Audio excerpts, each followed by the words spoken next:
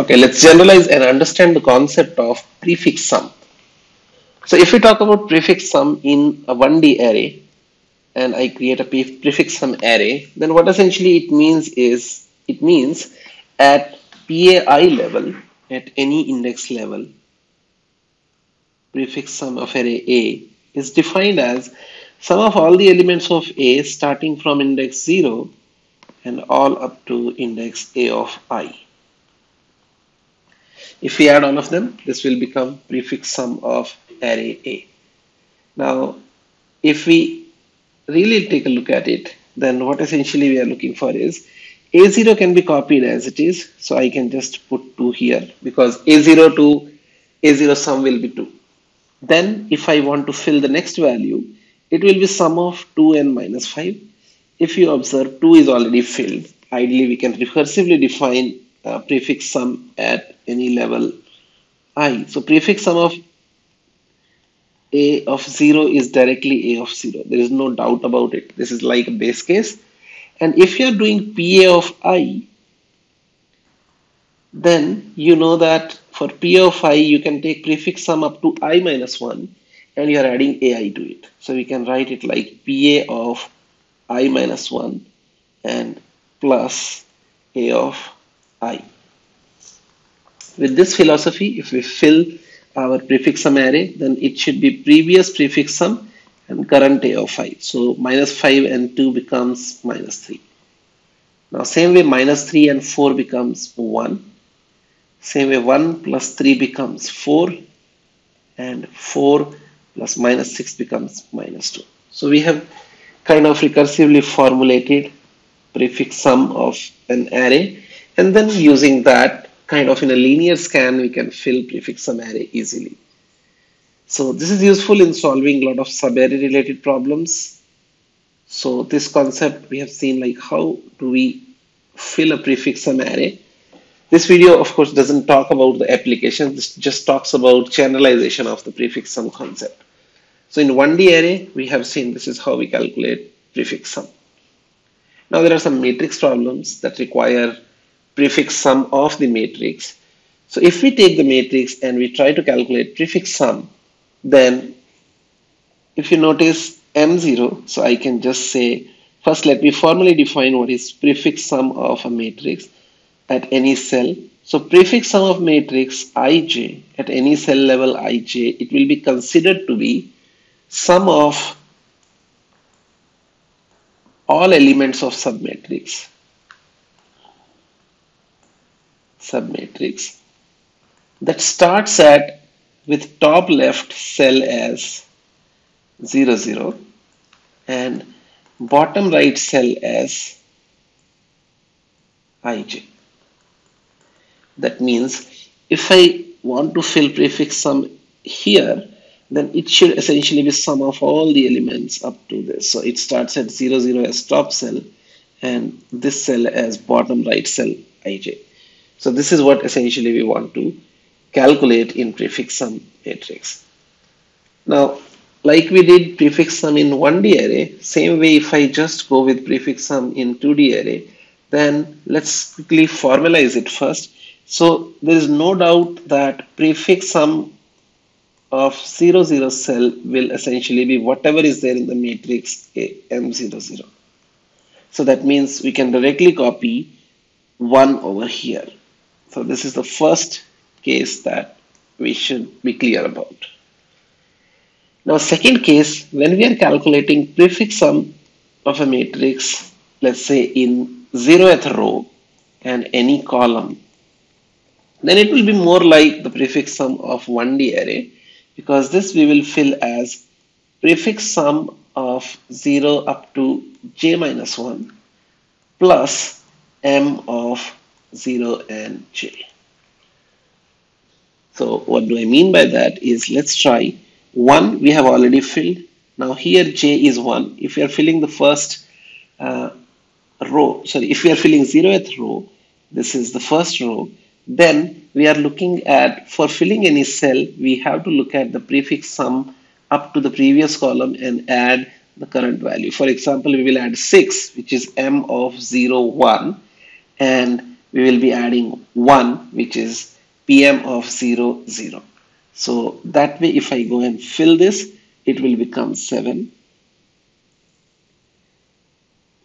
and then same way if we fill the next one 8 plus 7 will become 15 and if we fill the next one 2 this becomes 17 so prefix sum of a matrix for any given for zeroth row essentially is straightforward. We have used prefix sum formula of 1D array.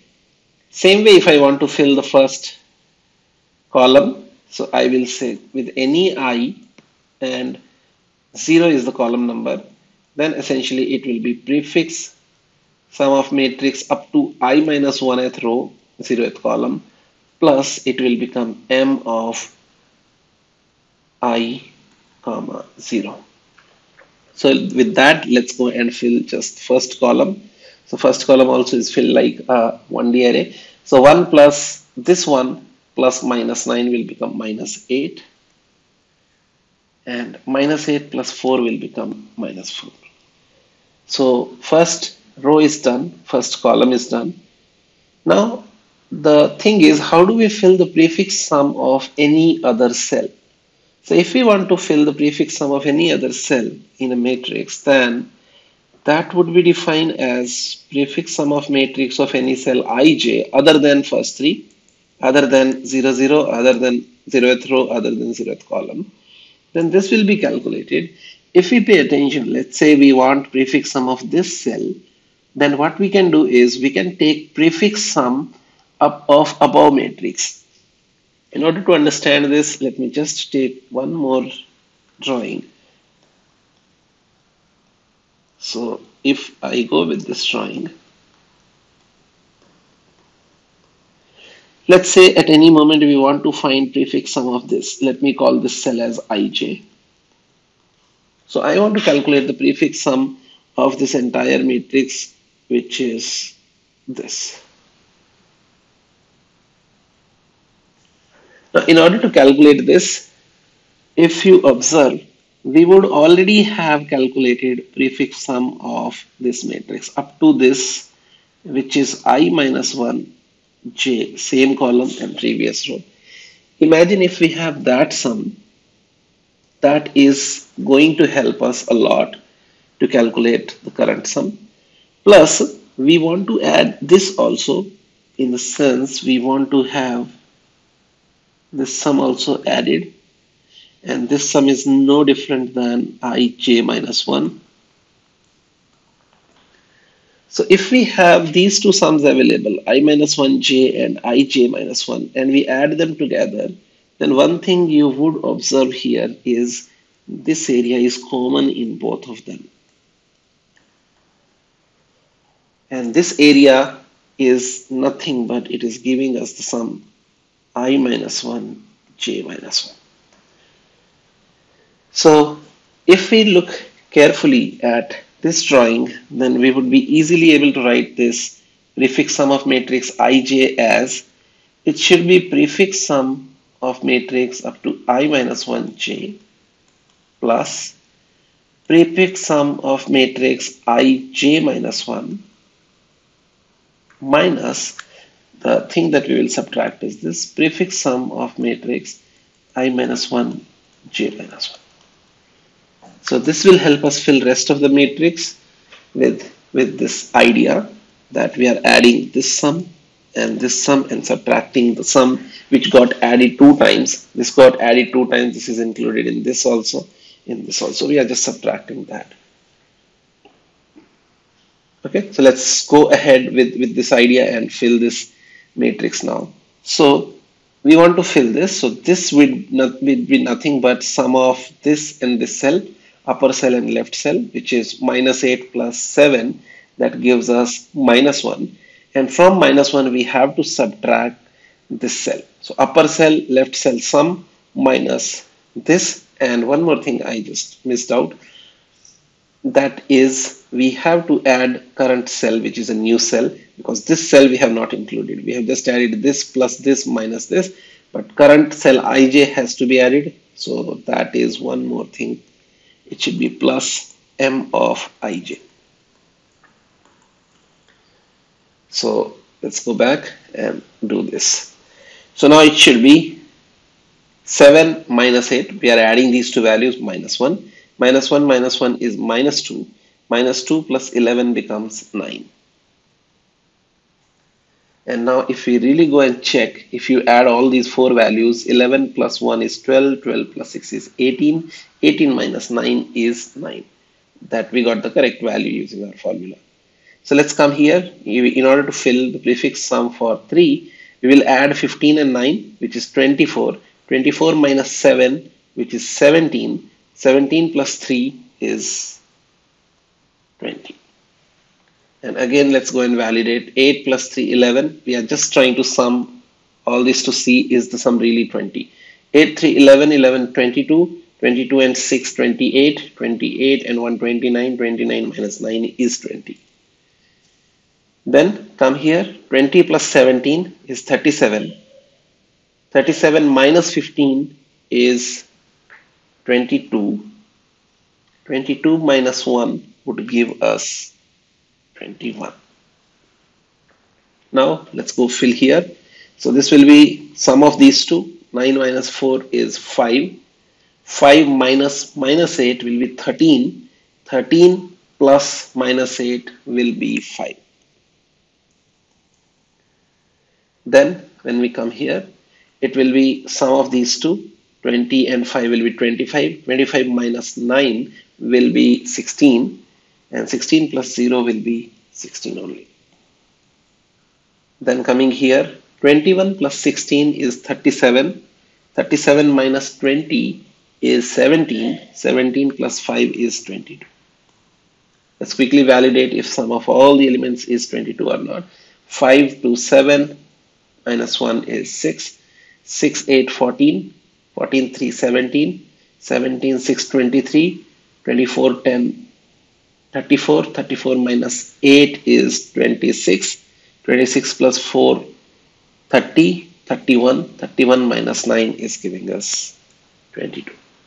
So this is how we calculate prefix sum of a given matrix. Again, this is also useful in solving problems uh, on subarray or sorry submatrix sum so this has some applications in dynamic programming also so this is second concept. Now third prefix sum is also useful in solving some of the tree problems which are path related problems. So in tree what we do essentially we say prefix sum at any node level prefix sum of any node in a tree is nothing but it is prefix sum up to parent of that node plus the current node value. And prefix sum of root will certainly be equal to the root value is equal to root var. So what I'm going to do, uh, usually when we solve tree problems, we just pass the prefix sum to every node in the tree rather than storing them in an array or matrix. So we keep passing that information. Every parent passes that information to its child.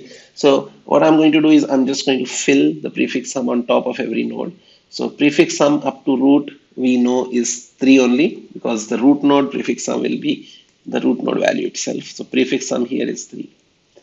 Now 3 is passed to 2 because 2 needs, in order to calculate prefix sum of 2, we need the root or parent prefix sum value which is 3 3 plus 2 becomes 5 same way when we come here prefix sum here becomes 3 plus 2 5 minus 8 becomes minus 3 and if you come here prefix sum becomes 3 we are just adding minus 3 plus 6 and if you come here prefix sum of up to this root this node value will be minus 3 plus 1 it will be minus 2 if you come here prefix sum will be 9 plus 5 14 here prefix sum will be 7. Here prefix sum will be 18. So this is the prefix sum concept on trees using which we can solve few problems uh, which, which require actually uh, related to the path sum problems. If we are searching for a specified path sum uh, going downwards, uh, then, then this concept can be utilized.